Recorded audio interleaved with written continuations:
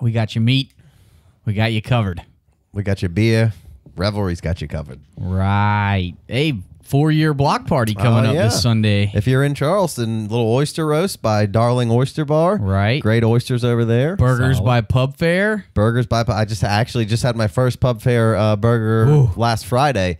Strong to quite strong. Dank. Very good. They usually run out of burgers when they do pop ups, which Right. is A Impressive. good yeah. sign. strong there. to quite strong That's- if the that's- burgers are well, good. what you're there for is to sell them, and you Right. sold them all, so that's good. So you pop down and get out of there.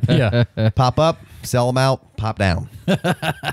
Yeah, it's uh, for a great cause, Green Heart Project. Uh, look them up; they do great work. Uh, Yeah, they're gonna shut down the street, have a little block party. If you're in the Charleston area, head down to uh, Old Conroy Street. It's gonna be a good time. Always is on their uh, block parties. This one happens to be for a good cause and for their four years uh, in business, crushing business. They got so many gold medals. So just Yeah. proud to be drinking their beer on air. right? Sure. Yeah, they just went to the U.S. or some beer championship, won gold twice, or no, one gold and a bronze.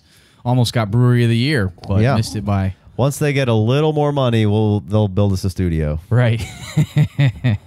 uh, real quick, so we just talked about Rashad Penny. Uh, if you're on, if you're listening to this on YouTube, go check out that talk about would you basically trade Rashad Penny for a first round pick. I misspoke. He did break his hand or his finger before he gained the 16 pounds. It's not 18. We uh, inflated him even more than he was already. You see, I knew it.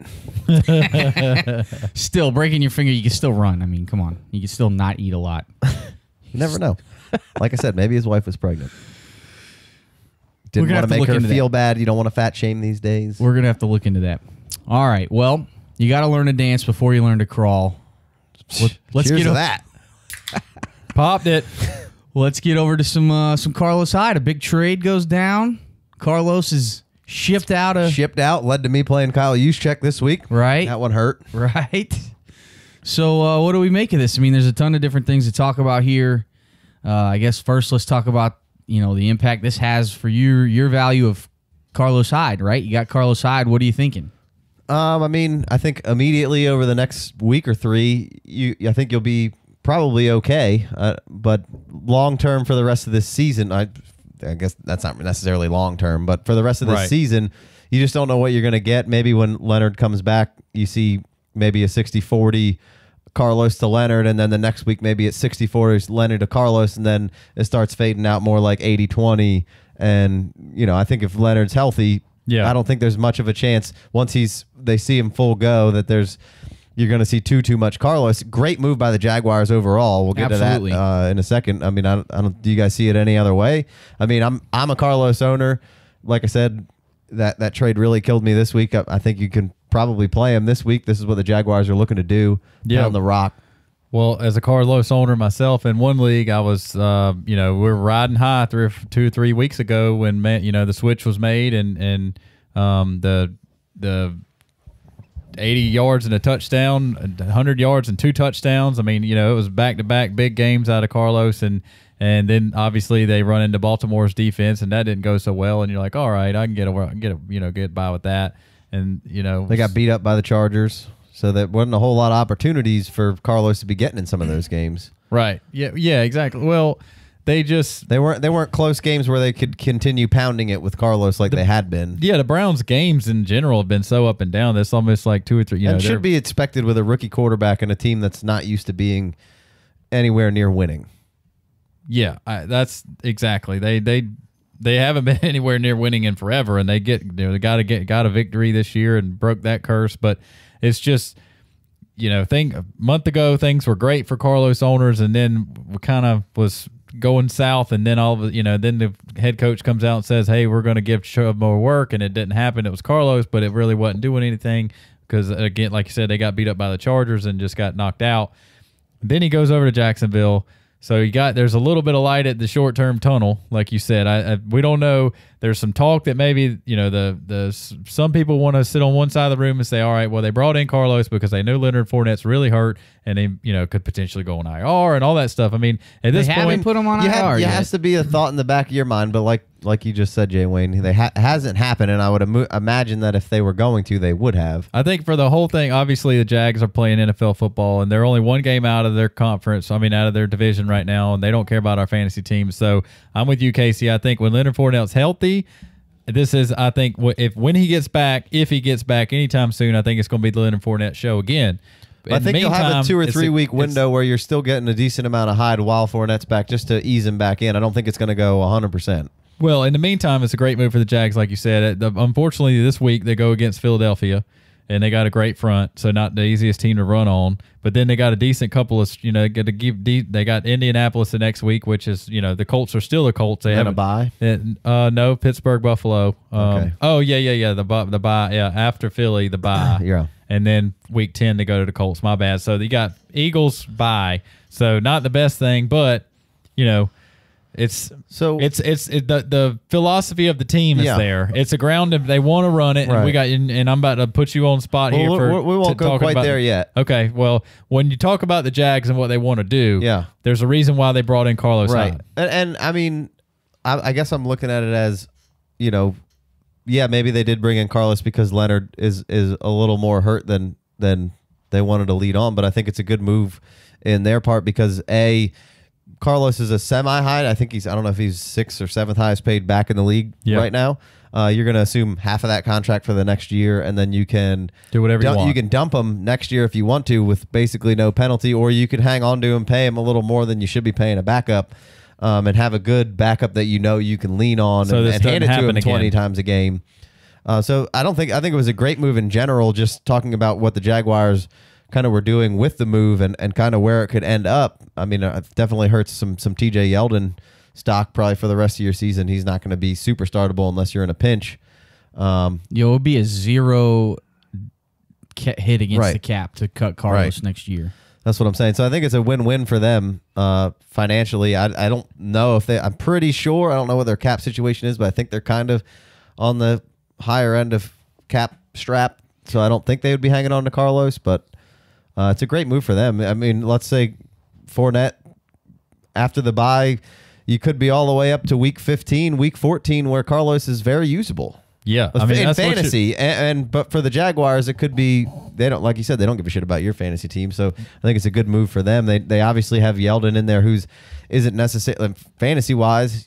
He's Well, showing up for you, but he's not doing what the Jaguars need their running back to do, and what they took Leonard Fournette to do with this right, team. right. Yeah, it, he's not he's not Fournette. I mean, he's he's good in space, good at catching the ball, and but he's not Leonard Fournette. And so, if you're a Carlos Hyde owner, uh, unfortunately, as a Carlos Hyde owner, you're really really hoping that Leonard Fournette stays out. Right. That's really what you're looking for. Um, And hoping that Carlos goes, they cut him and he goes somewhere else next year. yeah. Oh yeah. on absolutely. the long term Uh, situation because you definitely don't want him to just be the backup for Leonard Fournette getting you know well twenty or thirty percent of the run. this is how quickly things change in fantasy football, and especially with you know you got a running back that was on fire for and in a really good situation a couple of weeks ago, and now you don't like uh, twenty you know nine. 98 yards and two touchdowns and the Browns are like hey we got a quarterback now look at what look, watch us roll and now you're like man if I really wish I could get back to that you know close to that late first round pick I could have got a month ago Yeah. you know, I've seen some people on Twitter being like, "Hey, I think it was Jeff Rob Robert Robbie Jeffries was tweeted out a month ago, and he's, uh, you know, hey, you should be selling your Carlos Hyde." It's like, well, we a month ago we were like, you could you you should sell your Carlos Hyde, or you should borrow buy your Carlos Hyde, depending on what position you're in. You know, and it's just like. It's if you could find a couple of weeks here where there's no Leonard Fournette and the value goes back up on Carlos Hyde, I got no problem cashing out. I'm not. I see. I'm.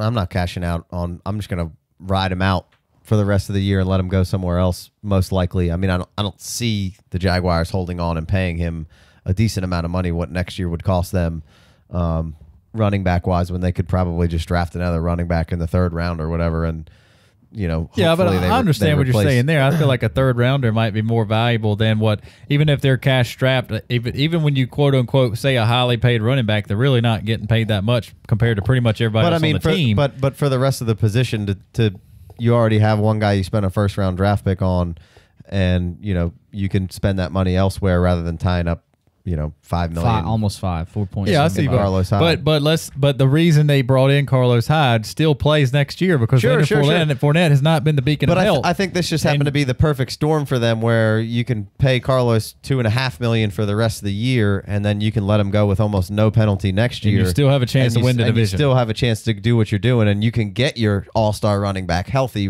It doesn't matter how long it takes now. yeah. Um, so I, I think that's a win-win for them, and I don't really see any reason why they would hang on to him. You know, obviously you could say, well, Leonard Fournette may, may or not, but I think you could spend a draft pick or pick somebody up in free agent and pay him a fraction of what you're paying uh, Carlos Hyde, and it's a dollar and cents league at the end of the day. oh yeah, you're right. and uh, so I'd, I'd be holding my Carlos and hoping that he goes somewhere else. I'm not going to sell him for pennies on the dollar because he went somewhere else. His value got a little hurt. But when you tell us why the, the Jags picked up Carlos Hyde and why they really need Carlos Hyde right now to do the things what they want want Leonard Fournette to be doing for their team, Right. that's why I'm like it would, wouldn't surprise me at all if they if he does well for them to roll him back and just have two good power backs next year on the roster. That Obviously, quarterback move, you know, to be determined Mm-hmm. whether or not Blake Bortles is the quarterback or not. We're in a situation right now as a Jacksonville Jaguars team that your foundation of your offensive philosophy is not playing. Yeah. And now your team's in turmoil. Well, before we move to the next step, Jay Wayne, you got anything on on Carlos here? Only eh, well, it'd be a sixteen million dollar dead cap hit if they cut Bortles in nineteen. So it's kind of a bummer for them.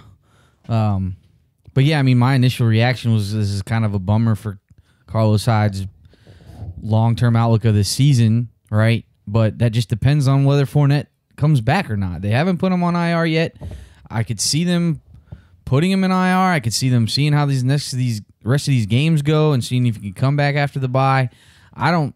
I don't necessarily. I mean, that's know. also. I guess that's a possibility that we didn't kind of. If they maybe they lose another two or three games before they think Fournette's healthy and Hyde. they just run Hyde the rest of the season and say, hey, we're not going to play Fournette. True.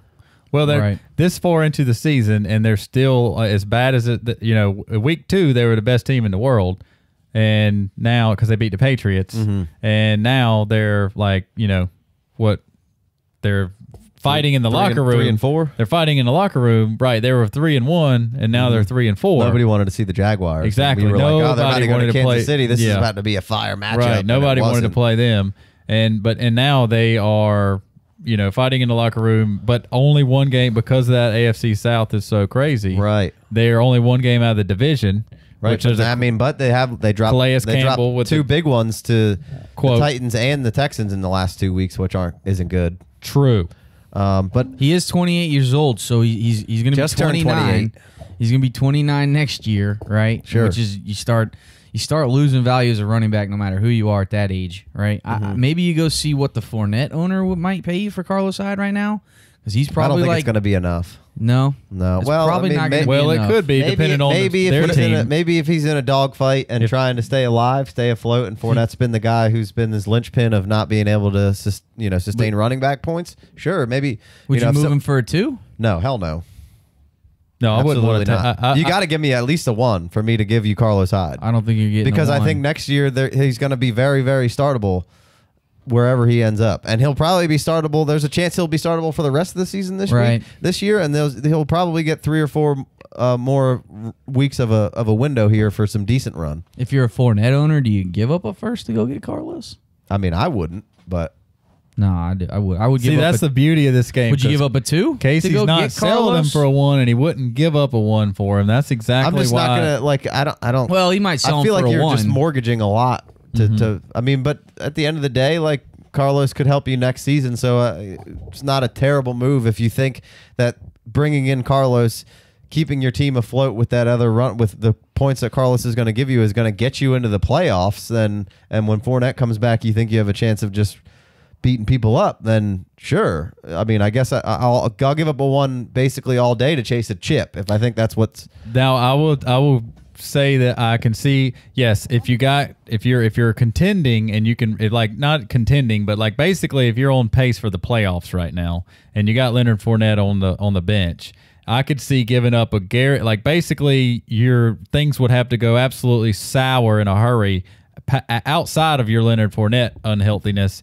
to miss the playoffs because I wouldn't want to give up like a you know top six first rounder. But like yes if you can get a get a, uh insurance policy on your Leonard Fournette piece, and then either next year, you know, You, probably have you- a playable you- at least RB two. Next year, you either have a a a you still have an insurance policy. And at worst case scenario, he stays on the Jags, and your Leonard Fournette is backed up with a Mm-hmm. very the best backup in the league, or Carlos Hyde goes somewhere else, and you got of Kerryon Johnson. right. And now you got yeah, and now you got two starting running backs. You know what? Until one of them does something, you know, gets hurt or whatever. Yeah. So I can see that, but I, I wouldn't be wanting to. If I'm if I'm if Leonard Fournette is the reason my team is two and five, I'm sure as hell not going to give up a first and miss the playoffs and have Carlos Hyde on my team and not have my pick one four or whatever it is Yeah. in rookie season. 100%. Okay. All right. Yeah. Well, I think the biggest thing, I mean, maybe this isn't the direction you want to take this conversation here, but to me, with this Carlos Hyde trade, the biggest takeaway for me is that I would go buy Leonard Fournette. No, I don't have a problem with with with there because I think that could jettison into the latter part of this conversation here. But I, I agree with you 100. percent I I would I'm I've been I've been I'm trying to sending get out Leonard offers Fournette. for- I've for been sending out offers, and now I just feel like this is even more. sure I I got no problem hit. trying to get Fournette. Like I if I'll send over the first in a hurry just to try to get things started on seeing if the the Fournette owner will come off of them. I, uh, I would, yeah, all day. Uh, this is That's I don't think that's going to do it. I don't think, it, but I, uh, I'd give up a one and a two. Perpetuate the conversation. I throw in a player. I think a one and a two is a, a decent start at this point. Obviously, a one would have never got you a conversation with Leonard Fournette a mo- six weeks ago. Um, so now, you know, things get a little wild and crazy.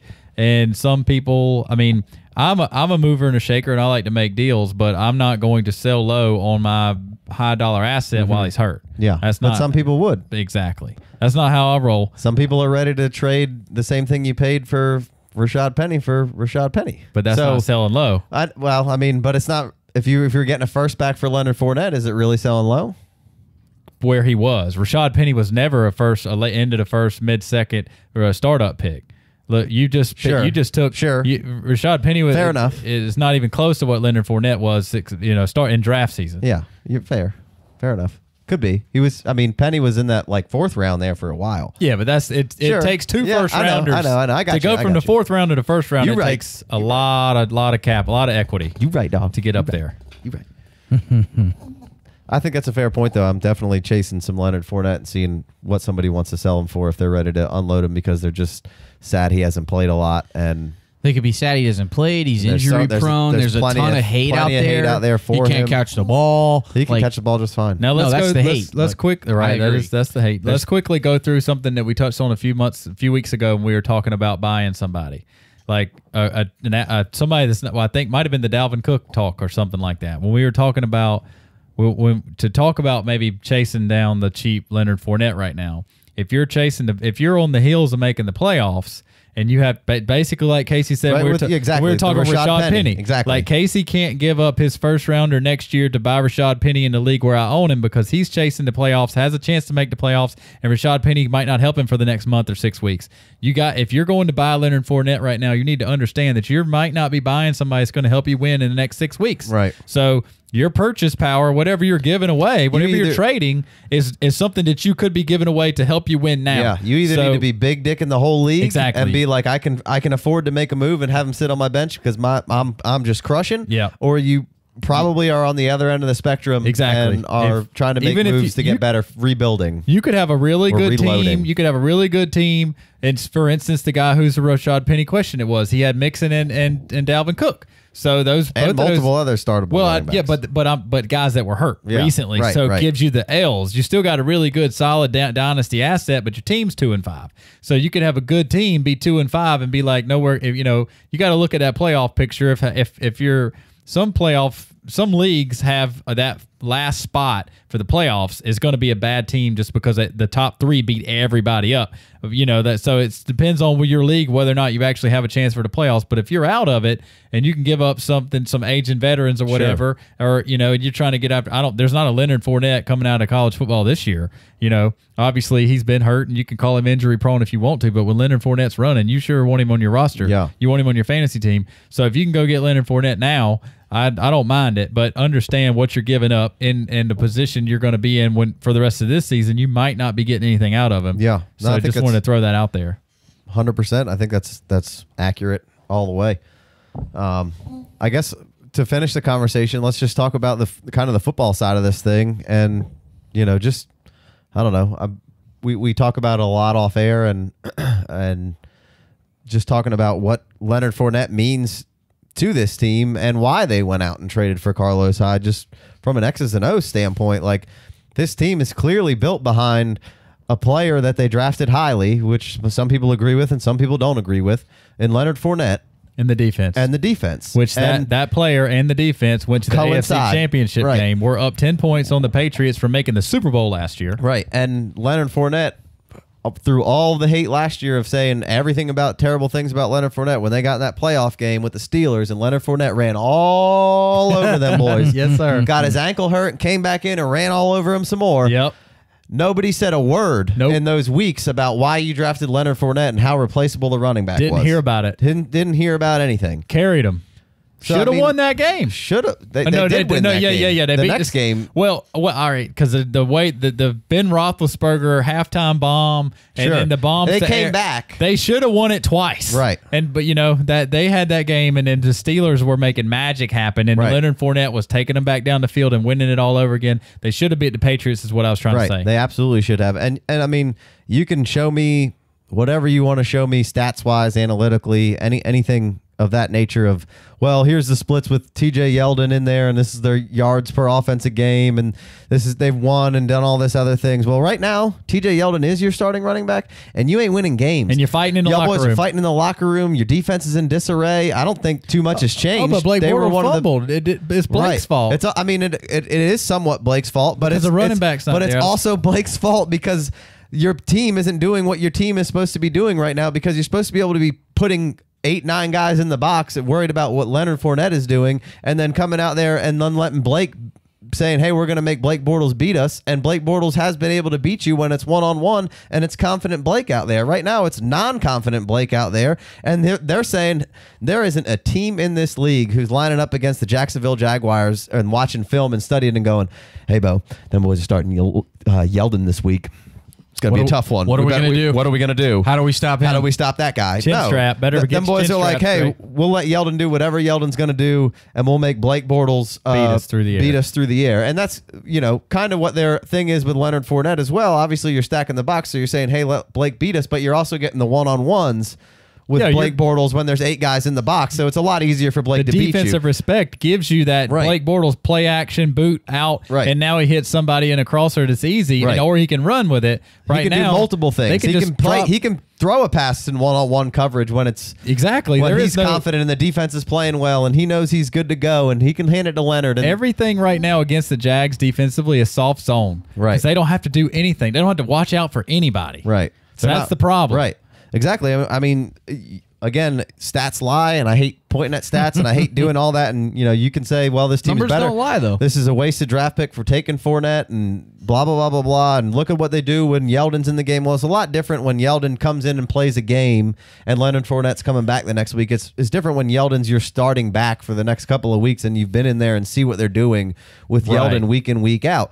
I mean, You just see what they're doing with Yeldon, and then you Right. like I like what you said earlier about it is is after two or three weeks of no no Leonard Fournette, now the things are not working like they used to for for um, the quarterback Bortles, and now it's, you got Right. non confident Bortles, Right. Instead of one week Well, without what's wrong Leonard, with Blake Bortles? Well, he's the Blake Bortles that you used to know and, and hate or love, however Leonard you want to get right. And That's a garbage time Blake has still been good for fantasy, just like TJ Yeldon has been good for your fantasy team, but he hasn't been. They're not winning games. They're not winning games, and he hasn't been necessarily crushing it rushing. Yeah. Um. I mean, he's got some decent averages here, but he's got some bad averages there. And and when you're not competitive in the game, you got to get away from the running game a little bit.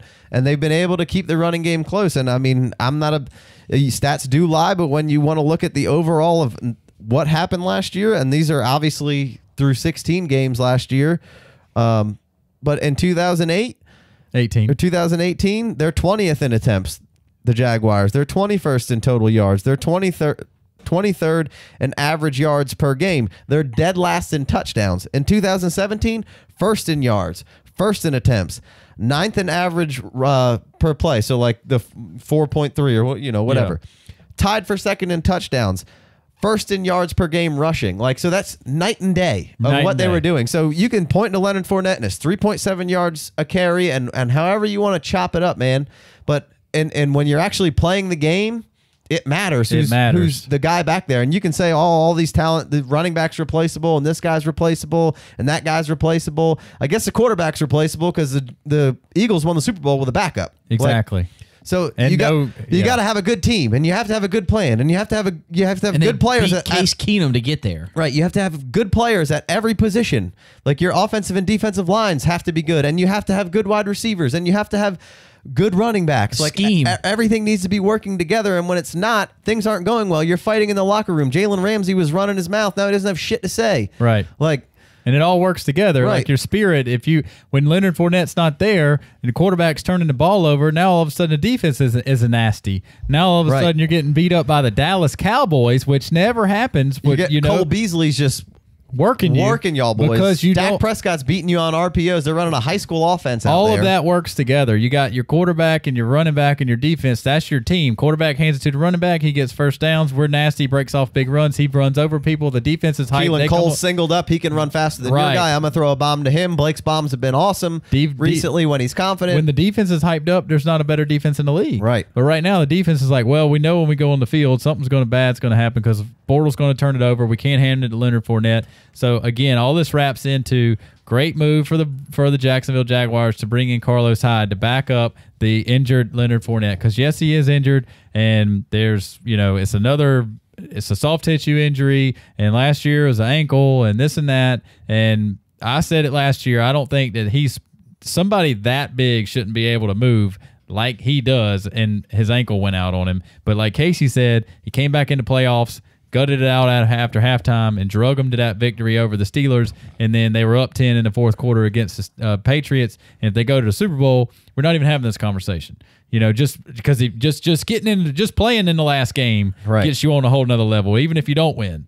And so, Yeah. and now you got unconfident Bortles out there on a short leash, gets So, benched. I mean, I'm th- I'm sure you can dredge up stats and put things in my face and say, here, no, see, look at this. Hey, look at this. Hey, no, look at this. No, see, I'm right because this guy matters and running backs don't matter. And it's like, not like you can put whatever you want in my face, but right now the Jacksonville Jaguars are broken, and the first thing I'm pointing to is that Leonard Fournette ain't there. Yeah. and they're falling apart at the seams because nobody's worried about the run game right now from the if Jacksonville it's Jaguars. not too late to save the just got benched Blake Bortles with a power running game, the Jacksonville Jaguars rolled the dice to see. Right. They did what they had to do, and they only gave up a fifth round pick to bring in Carlos Hyde. And obviously, everything can be a little wompy when you bring in Sure. somebody mid season. And we're gonna talk but about they're that only Amari one week Cooper. away from a bye week. Exactly the Mark Cooper thing. They're only one way one week away from the bye week.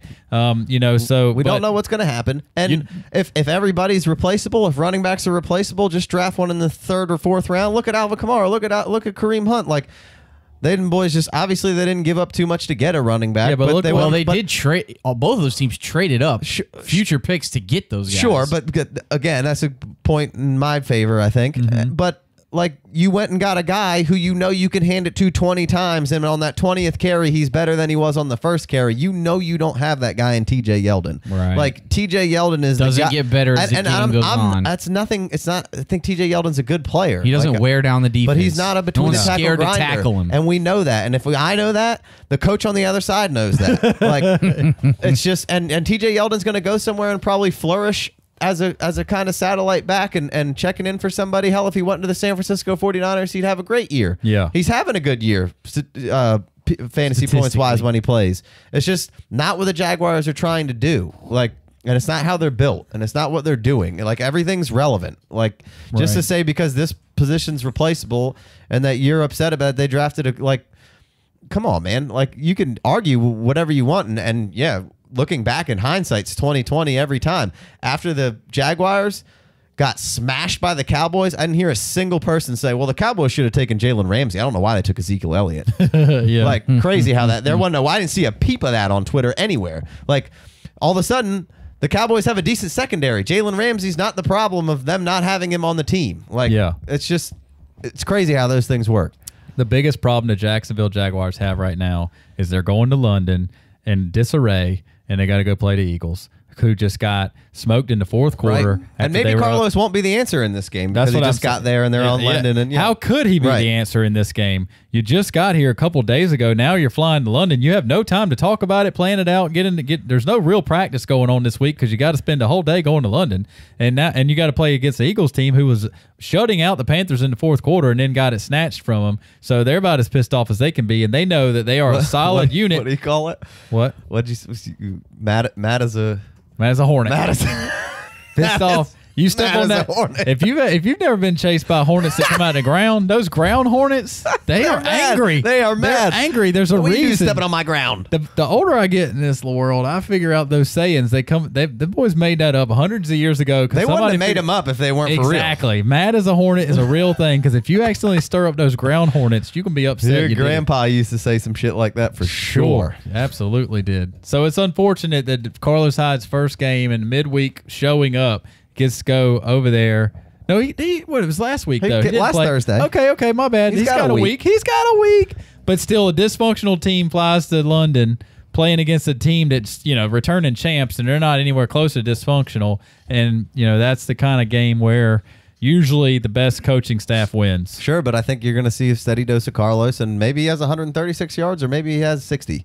But You're they're going to get a steady dose I of think you're going to see some Carlos. Maybe you'll see some Cody Kessler too. At least they're not like playing in Philadelphia. They got all. Everybody has to go to, to This is- London. This is true, and and you know the Jaguars love some London. At least No, that's Khan true. does. That's Close, true. almost a home game. Just withdrew his uh, 300 million on Wembley Stadium though, or Said whatever he it had was. better pl- place, places for that capital. yeah, like some more mustache pu- mustache, pomade. Mustache.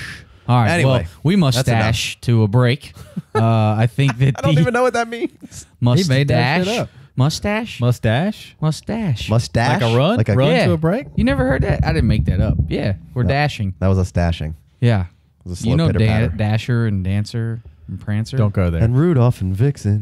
Anyway, I, I think overall, I think this is a great midseason move by the Jaguars to go acquire Carlos Hyde. Much like it's great by us to have a midseason meatloaf. exactly. That was you took the words right out of my Give me the- mouth. Give me the drop, Jason. Jesus.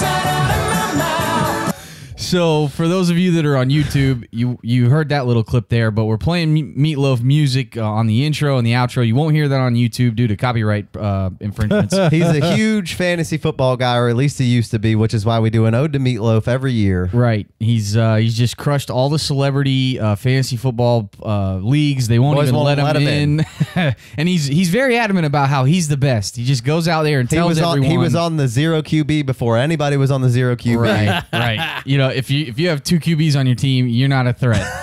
That's, a, that's a direct Meatloaf quote. That's a quote. That's a quote. Um, so we love him because he's not only awesome with the fantasy football, but I mean, he's just the, all, his music. Well, the first two albums were just Fantastic. amazing. Crushed Uh, some acting career, Fight Club. well, so here's a fun fact: he was in the original production of Hair, uh, but he declined to be in the nude scene. He said that uh, quote, "You get an extra twelve fifty to be in the nude scene, and I didn't need an extra twelve fifty. Skinny. yeah. It's got skinny meat. All right. Well, let's uh, let's let's go out to a break, and uh, hope you enjoy the meat. Why wouldn't you? We'll be back with more Married to the Game.